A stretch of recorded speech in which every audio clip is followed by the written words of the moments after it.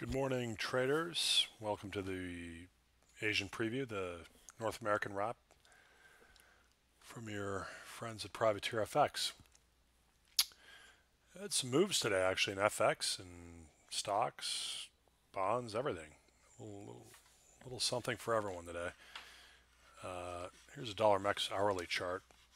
Let's get into that. So, nothing really news driven but uh, we took out this old high from last week at 19, uh, 1914, which is also the uh, 1915 was the the Fibo. Went up very quickly, 500 points, and then reversed down, back down in 1892, closed back up here. So looked like a stop loss run to me over those uh, those old highs. Um, the main event today was the FOMC meeting, which the statement was a bit more dovish. Uh, the Fed emphasized their 2% inflation target is symmetric, suggesting they will allow core inflation to run above target uh, for a little while. One thing they re removed from the statement was the economic outlook has strengthened in recent months. And when the market saw that, they you saw some dollar selling uh, across the board. Um, and th this was after the, uh, you know, that we've had an extended dollar strengthening theme for the past uh, past couple weeks now. Um, you can see here on the hourly and the euro dollar, uh, euro went back up to 120.25 and then went down and actually took out and made new lows for the day and took out the barrier at 119.50. Uh, we do have Fibo support here in the euro that comes in, had this drawn earlier, 119.40.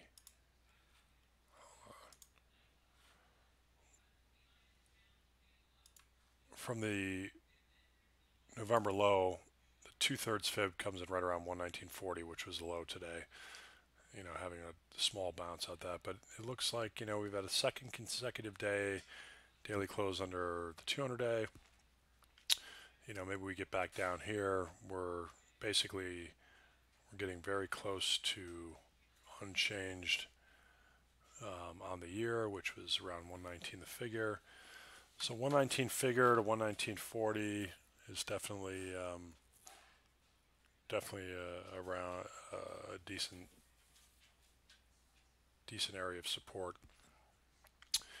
Uh, let's take a look at dollar yen that had to move higher today. We breached 110 the figure briefly. We did not get above the 200 A 110.20 it comes in today, but uh, it actually had looks like a bit of a doji day in dollar yen. Cable came under selling pressure with the broad dollar strength. You know, the, the initial reaction was dollar selling on the FOMC, and then everything turned around and we had dollar buying. Um, so if you look here, uh, this is another new. We focused on this the other, you know, the past couple weeks of just lower highs, lower lows. 200 days right here in cable. It comes in at uh, 135.35. Fibo down here, but we also have like unchanged on the euro is right around 135 the figure. So um, let's take a look at the dollar index. Clear break here above the 200 day, 92. Traded up to 92.80. We're above small daily highs. Everyone's targeting this 94 area, and it sure looks like it's getting going there. Um, what else was of interest? If you look at the equity complexes, we actually had, they were positive, up small kind of most of the day. Here's an hourly chart. Um, we bounced a bit after FOMC, and then we saw, saw a pretty aggressive sell-off into the close down to uh, just above this low, this 26, 23, 50 low, which starting to look like Here's our daily. We closed just below that uptrend line that we drew a couple days back. The 200 day is in it's in its sights here, 2615. I think if we start closing below here, it's going to be similar to what we've seen in the the reactions with the euro dollar closing under the 200 day, dollar yen approaching it, cable approaching its 200 day. Um, these could be, you know, the start of some pretty major trend changes in, in both the dollar and in uh, and in equities. But we need, you know, consecutive closes under this 200-day in the S&Ps for me to get too excited. Um, pretty far away in the Nasdaq here. That's way down at 63.82. So again, a reversal of the initial reversal of dollar strength from the in the morning after the what the market was was uh,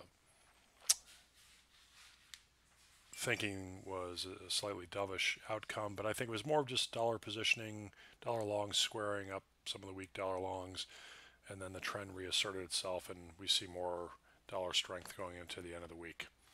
Good luck tonight, today, and uh, we will speak to you on the European Open. All the best. Cheers.